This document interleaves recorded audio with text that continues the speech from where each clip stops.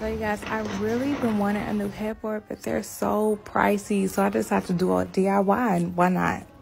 So I picked out this beautiful emerald green color. It's so gorgeous. It looks dull on camera though. I got some buttons, my staple gun, and this is my old headboard. Clearly I needed an upgrade. Got some cardboard to even the front, some padding. I ended up buying a pillow um, and taking the inside of the pillow out to make the padding, you know, fuller and I measured my sheet and then I also measured the buttons for my sheet and I ended up going back to the store to get Gorilla Glue for the buttons, perfecting it, and this is the end results. What do you guys think? Um, I mean, you can tell it's kind of homemade, but